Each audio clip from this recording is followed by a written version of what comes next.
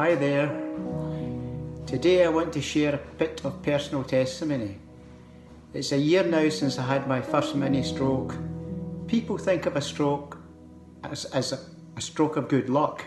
I would say you're joking. That stroke led to a bone marrow cancer diagnosis. That could have made me fearful, but as someone who knows Jesus, I know He's looking after me and He fills me with His strength to overcome obstacles, even cancer.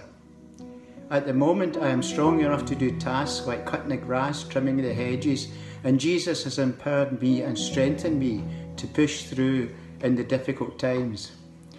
I have tried to be obedient in pushing through because obedience is better than sacrifice, even though it often feels like sacrifice. In November, I was invited to Nobles with pneumonia, a bit peeved that I missed Sunday worship that weekend.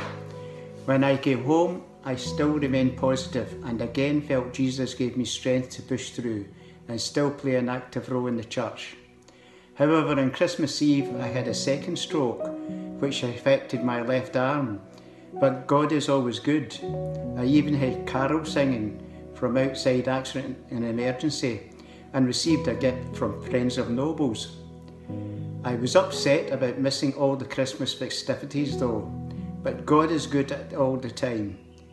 The best was on Christmas Day, the team of doctors had a discussion and the head of department came over, he said that although some of the team did not agree with him, he was making the decision to let his heart rule his head and let me home in time to have dinner with the family. Whoa!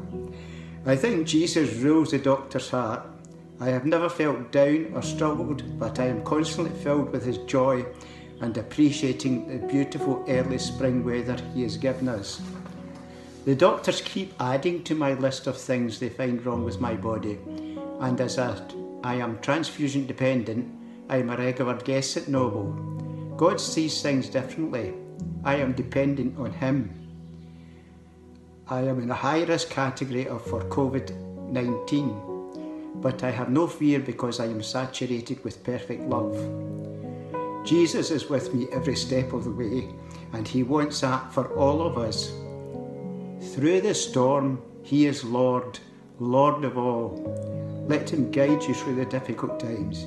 He does it for me, He'll do it for you. So keep washing your hands, loving your neighbour, and above all else, keep pushing through.